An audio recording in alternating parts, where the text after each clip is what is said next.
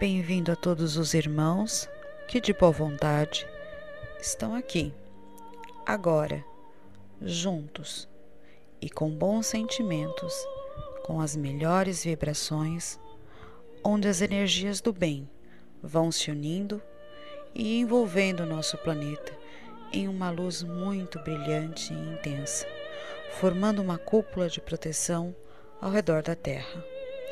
Que o nosso melhor vá se unindo a toda a espiritualidade que vem trabalhando com muito amor e carinho, protegendo e cuidando desta casa, o planeta Terra, que nos abriga e faz morada nesta encarnação.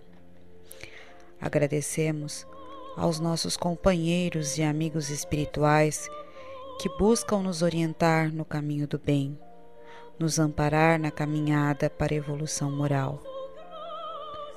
Vamos fechar nossos olhos, buscar dentro de nós o amor verdadeiro, incondicional, capaz de nos iluminar, que nos faz capaz de perdoar a nós mesmos, pois falhamos, mas estamos em aprendizado.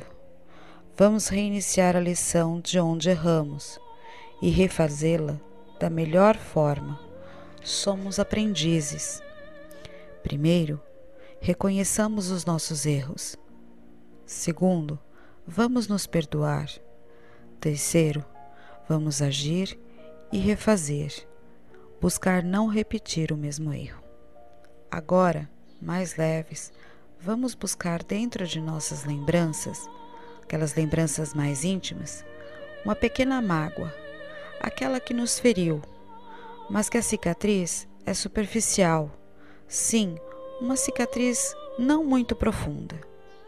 Olhemos com compaixão, com compreensão a quem nos feriu. Afinal, ele, ao pensar em nos ferir, causou em seu perispírito uma marca que no futuro talvez não consiga se perdoar. Eis então a necessidade de nós tomarmos a primeira iniciativa vamos nós perdoá-los verdadeiramente para diminuirmos nossas dívidas e então caminhar.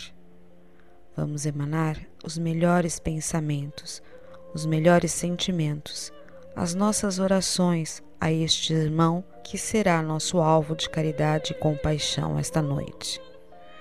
Que estas vibrações consigam se espalhar a todos que estão ao nosso redor a todos os familiares, aos nossos vizinhos, que ao atingir o nosso ofensor, agora também nosso irmão, ele receba uma chuva energética de amor que se espalhe por sua família, por seus amigos, por seus vizinhos, e então teremos essa energia respingando por todo o nosso planeta, atingindo os órfãos, os idosos, os moradores de rua, os usuários de droga, a todos que se encontram perdidos, aqueles que esperam por notícias de entes queridos, aos povos em guerra, aos hospitais e aos nossos lares.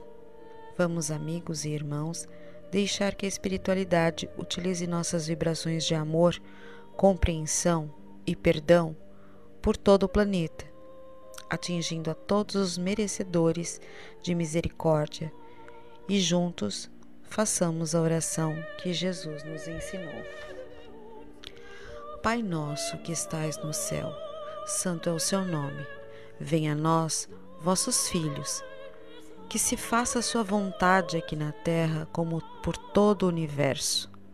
O pão nosso que nos alimenta a alma, que nunca nos falte.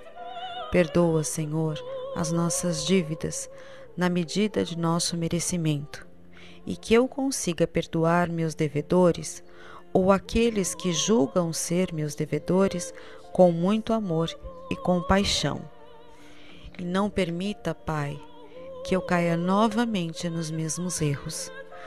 Pedimos a Maria de Nazaré que nos cubra com seu manto, nos protegendo, já intercedendo por nós e agradecendo a Jesus por ter nos ensinado a lição que começamos a aprender: amor, fé, compaixão e caridade. Ave Maria, cheia de graça, o Senhor é convosco. Bendita sois vós entre as mulheres, e bendito é o fruto do vosso ventre, Jesus. Santa Maria, Mãe de Jesus, rogai por nós, pecadores, agora e na hora de nosso desencarne. Até a próxima quarta-feira, com Jesus e Maria, agradecendo a Deus Pai que tem nos permitido a cada dia ser um pouco melhor. Que assim seja.